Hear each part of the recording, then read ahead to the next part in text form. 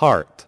The heart is a muscular pump in the size of a closed fist and lies behind the sternum.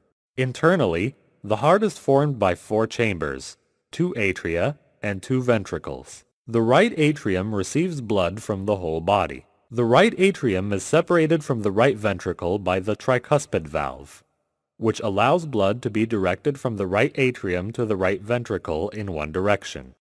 The right ventricle ejects blood through the pulmonary valve to both lungs to be oxygenated. The oxygenated blood is collected from both lungs to the left atrium, then from the left atrium to the left ventricle through the mitral valve. The left ventricle ejects blood to the aorta through the aortic valve to be distributed to the whole body. The musculature of the heart is supplied by right and left coronary arteries.